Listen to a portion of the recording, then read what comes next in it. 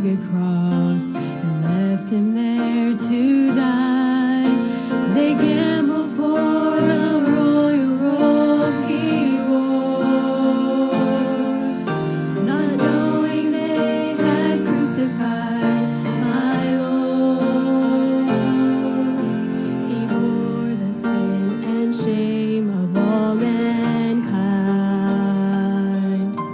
and as he hung there dying was on his mind.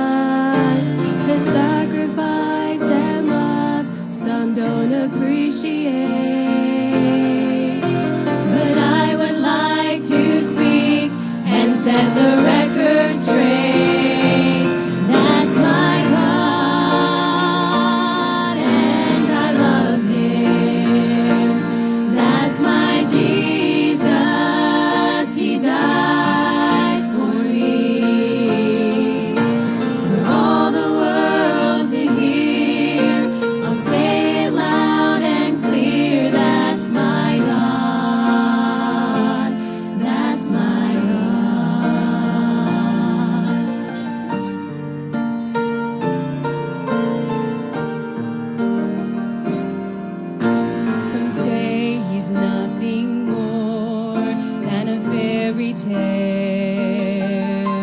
He's just a myth or legend. His presence is not real. His word is not